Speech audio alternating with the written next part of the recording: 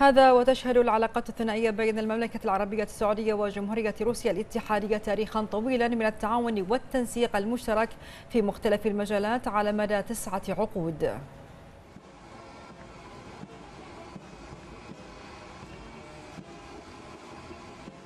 لطالما شهد التاريخ على منعطفات استراتيجية للعلاقات الدبلوماسية بين كبريات الدول وما ينتج عنها من تنام منطقي في العلاقات السياسية والاقتصادية وهي الركائز الأساسية التي تنهض بطبيعة العلاقات بين بلدين هامين كالمملكة العربية السعودية وجمهورية روسيا الاتحادية اللذين يشهدان عملية انتقال مفصلية من مرحلة سادها بعض الفتور إلى مراحل متقدمة طموحة تشكل قاعدة رصينة للبنات مستقبل كلا البلدين على مختلف الأصعدة.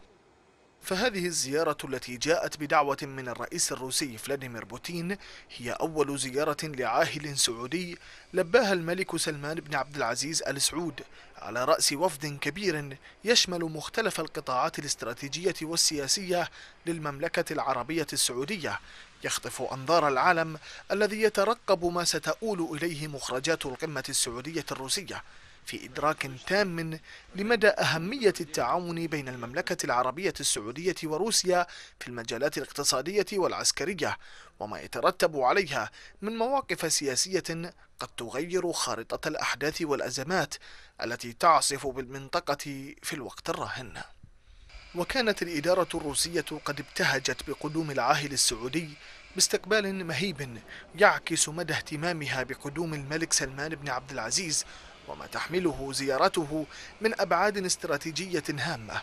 وهذا ما أكده وزير الخارجية الروسي سيرجي لافروف الذي اعتبر أن هذه الزيارة ستساهم في استقرار منطقة الشرق الأوسط وأنها تشكل انعطافة حقيقية في علاقات البلدين. وكان وزير الخارجية السعودي عادل الجبير قال إن موسكو والرياض لديهما مواقف ورؤى متشابهة تجاه المشاكل الإقليمية والدولية. ليشكل هذا التفاهم رفيع المستوى بين البلدين أنموذجا جديدا للعلاقات الدولية الوثيقة الهادفة لإحلال السلام والأمن في المنطقة والعالم.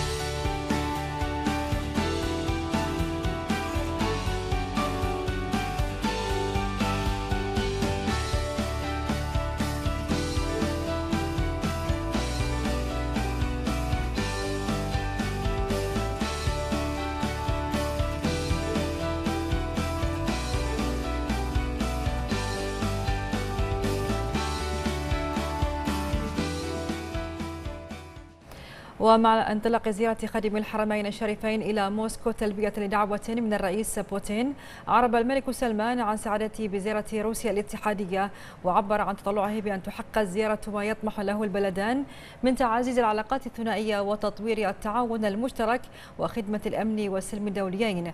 يذكر أن هذه الزيارة تعتبر الأولى من نوع هذا الملك السعودي وكان الرئيس بوتين استبق لقاءه الملك سلمان بتأكيد الأهمية التي توليها روسيا للعلاقات مع المملكة.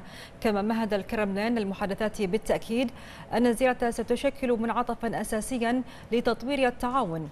وأفاد بيان الكرملين أن المناقشات ستشمل كل نواحي التعاون بين البلدين والمسائل الدولية الأكثر إلحاحا مع توجيه الاهتمام من خاص للأوضاع في الشرق الأوسط وسبل تسوية الأزمات في المنطقة. كما أعلن الكرملين أن التعاون العسكري وارد في أجندة لقاء الملك سلمان مع الرئيس بوتين. إلى ذلك شهدت العلاقة الاقتصادية بين الرياض وموسكو في العامين الماضيين تصاعدا ملحوظا وسط انفتاح موسكو على تسهيل الإجراءات التي تضمن نجاح التعاون التجاري بين البلدين وترسيخا لهذه الشراكة من المتوقع أن تشمل القمة التاريخية بين البلدين توقيع العديد من الاتفاقيات التجارية وعقد صفقات ضخمة تقدر بمليارات الدولارات أهمها في مجال الطاقة. زيارة تاريخية وقمة استثنائية في ظروف استثنائية يترقب الجميع مخرجاتها. قمة سعودية روسية من شأنها أن تسهم في تطوير العلاقات بين البلدين في كافة المجالات.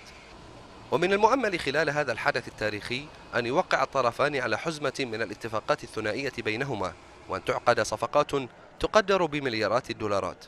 العلاقة التجارية بين البلدين تسير بوتيرة تصاعدية ففي عام 2015 كان قد أعلن صندوق الاستثمارات العامة السعودي عن عزمه استثمار 10 مليارات دولار في الاقتصاد الروسي خلال خمس سنوات ليكون المستثمر الأكبر في روسيا. ومن بين الشركات التي ينتظر أن توقع عددا من الاتفاقيات هي شركة النفط السعودية العملاقة أرامكو والتي كشف رئيسها التنفيذي أمين الناصر عن مذكرات تفاهم مع شركات روسية كبرى من بينها خدمات النفط والغاز والبتروكيماويات والطاقة المتجددة والتكنولوجيا. وهذا ما يؤكده بيان الحكومة الروسية بأن زيارة العاهل السعودي ستشمل مناقشة التعاون التجاري والاقتصادي والصناعي في مجالات الطاقة. التحسن والتطور الأفضل في هذه العلاقة يكمن في النشاطات الاستثمارية. هناك عدد من المشاريع الاستثمارية في السعودية يعمل عليها المستثمرون الروس والأهم بينها هي محطة الطاقة النووية التي سيتم إنشاؤها في السعودية. هذا إلى جانب الصندوق الذي يتم تأسيسه بين مستثمرين سعوديين وصندوق الاستثمار المباشر الروسي بقيمة 10 مليارات دولار الذي يعمل في روسيا ونحن نرى النتائج وهي جيدة للمستثمرين السعوديين. كما أنه من المتوقع أن يتم توقيع مذكرة تفاهم بين أرامكو السعودية ونوفاتيك أكبر شركة منتجة للغاز في روسيا لبحث فرص استثمارية في قطاع الغاز. وتعد هذه الخطوة هي الأكثر توقعا بين المحللين الاقتصاديين والسياسيين على حد سواء واعتبروها خطوة مهمة نحو الاعتماد على مصادر أخرى لإنتاج الغاز. إذا فإن هذه الزيارة تأتي لترسيخ هذه العلاقة التجارية الضخمة ومن شأنها أن تفتح آفاقا جديدة من التعاون التجاري تعظيما للدور الاقتصادي المشترك ودفعه إلى الأمام استنادا على دعم الإرادتين السياسيتين بين الرياض وموسكو.